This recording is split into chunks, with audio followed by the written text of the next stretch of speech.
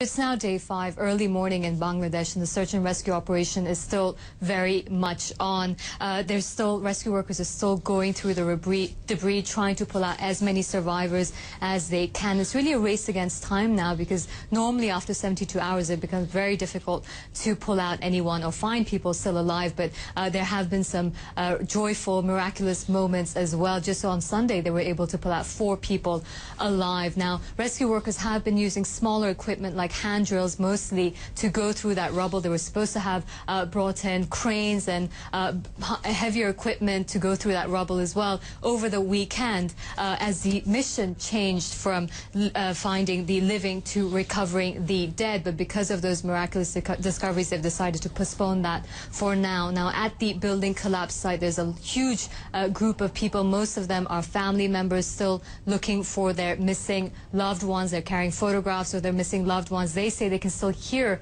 people uh, crying for help from underneath that rubble. This was about 12 hours ago, uh, and the rescue workers have been passing water and food and oxygen cylinders down, but just not able to pull them all out. Andrew, scenes of complete desperation still.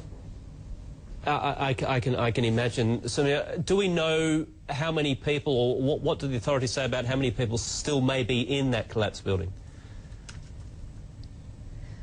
Well, the rescue workers say there's about 600 people still unaccounted for. Uh, the death toll currently stands at 378, and 2,400 people have already been pulled out alive. A lot of them are badly injured.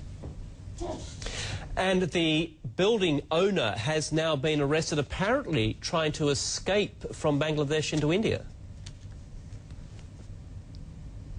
That's right. He was found on the border, actually, of Bangladesh and India. This is the building owner. Uh, he faces charges of uh, negligence and uh, perhaps something, uh, perhaps murder as well. We're not sure about that yet. He is due to appear in court within the next 24 hours. Five others have also been arrested, three factory owners and two of the engineers as well.